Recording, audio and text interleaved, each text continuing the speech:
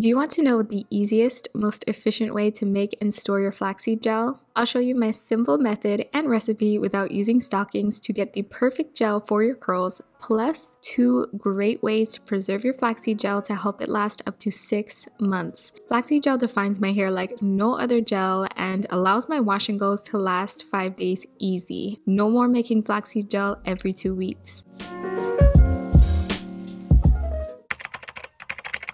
Let's start off with the basic recipe. I'm going to be taking four cups of distilled water plus half a cup of flax seeds, joining that together and bringing that to a boil. It's best to use distilled water because it doesn't contain chlorine or minerals and that can really help when it comes to accumulating bacteria in your gel. When you bring your flaxseed gel to a boil, you want to keep your eye on it because it does come to a boil very quickly, lower to medium high heat, and then allow it to simmer for seven to eight minutes. That's usually the sweet spot for my hair. Personally, I've tried 10 minutes minutes and the gel is just way too thick. Just so you know, the longer it boils, the thicker the consistency of the gel and the stronger the hold it will have on your curls. While the gel is simmering, constantly stir it to avoid burning the seeds and it's sticking to the bottom of the pot. I prefer to use a whisk for this step because I feel like it really distributes everything out well and it really helps to knock the gel out of the flax seeds, but you could totally use a spoon. That works too. I used that for the longest time until I discovered using a whisk.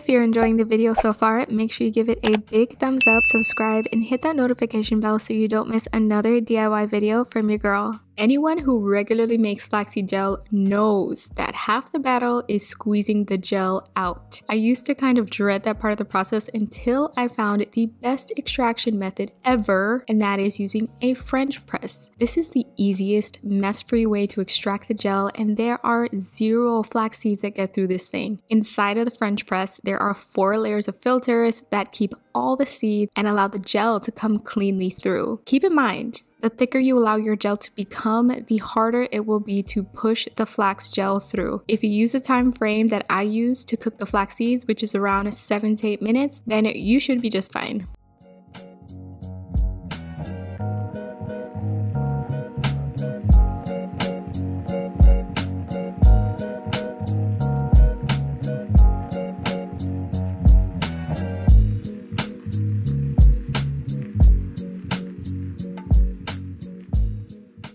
This is the only part that is a little bit difficult. You're gonna have to finesse this just a little bit. My gel was very thick. I had to slightly open the top and you wanna do this very carefully so that you don't make the seeds rejoin with the gel. But overall, that was the hardest part. I way prefer this method over squeezing the gel through a pair of stockings. It's so much easier on the hands and it saves me so much time. If you find a little bit of gel left over, like I did, simply just strain it and agitate the gel with a whisk to get it loose from the seeds. This should take only a few seconds.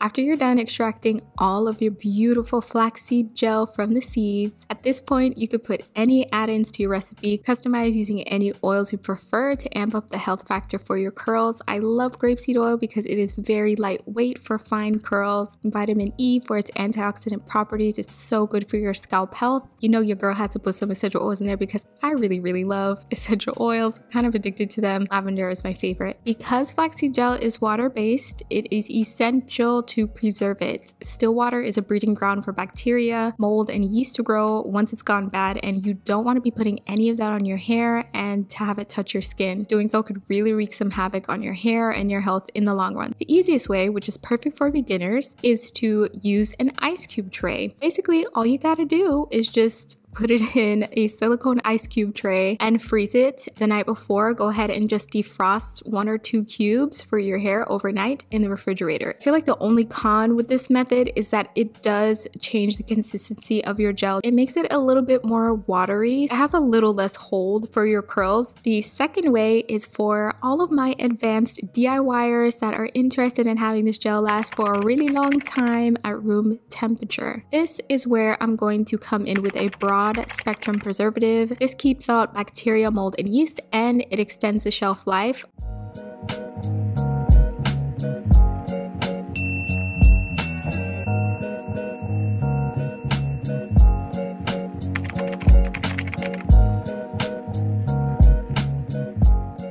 Let's simplify this as much as possible. You want to get a clean and sanitized beaker or measuring cup, place it on a scale, zero out the scale, and then pour in the flaxseed gel to get the weight measurement in ounces. We're going to need this information to determine how much Optiphen we need to use in order to properly preserve the gel. Okay, we're just going to take whatever our gel weighs, multiply that by the decimal form of the percentage that is suggested to be used. That is going to end up being the amount of preservative that's needed. I went ahead and put a little chart up so that you guys could see what the formula would look like. And it's not as complicated as it might seem. It's going to take a little bit of practice, but I promise you, you'll get it.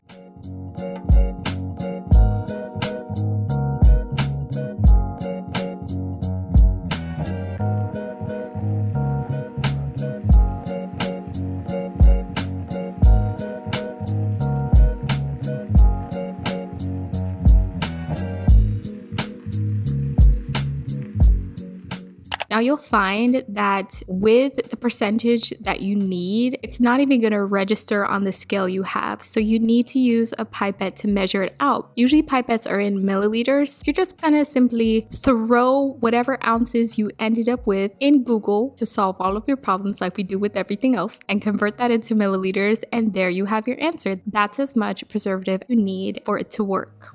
It's also important to add it after the gel has fully cooled down or else it will not be effective. The one I'm using is going to be linked in the description box. This method is great if you use the gel really frequently, but it also changes the gel into a milky consistency and texture. So just keep that in mind. Although the texture changed, I noticed that it was still very strong hold and it was a bit easier to distribute throughout my curls. The preservative has emollient properties. I noticed that my curls were holding on to moisture for a lot longer period of time. So that's a benefit that I was surprised to figure out. Preserving your gel with Optiphen can help it last up to six months, but you want to be vigilant in monitoring the texture and the smell to make sure that you put the preservative in right. You want to store it in a cool, dry place out of direct sunlight, and I don't recommend storing it in the fridge because this can cause a preservative to harden and separate from the gel. There are two major ways to tell if your flaxseed gel is ready to be tossed out. The first way is texture. As you can see here, the one that's gone bad has gotten really cloudy. And the second way is through odor. Fresh flaxseed gel has a neutral scent and it doesn't really smell like anything. Rancid flaxseed gel gets really stinky and it smells like, mm, I don't have the right description to tell you how bad it smells, but it smells awful. So you'll definitely know it. The way I like to apply my flaxseed gel is on wet hair on top of my serum and leave-in conditioner. I always wait until it's 100% dry and then I clap out the crunch for soft fluffy curls. If you want to see an in-depth tutorial on how I style my curly hair with flaxseed gel, I'll go ahead and link a video below. With this recipe, I wound up with about 10 ounces of flaxseed gel. I put 4 ounces into the freezer, which left me with about 6 ounces of preserved gel. I use the gel once a week for all and any styles, wash and goes, braid out, outs, twist outs, anything. I also use it to style my edges as well every day. This is the flaxseed recipe I've been using for eight years. I mean, minus the preservative, I just figured out how to do that. It works for my curls like a charm. I absolutely love it. I share this gel with my husband too, who washes his hair and reapplies it every day. And between the two of us, six ounces last around two to three months. As you can see in the picture, it works amazing for his curls, even though he has different curl type than mine. If you enjoyed this video, share it, hit the like button, and and remember to subscribe. For more DIY curly hair content, watch my homemade curl cream video next. You'll really love that one. I'm sending you all the love, light, and good vibes, and I will see you in the next one.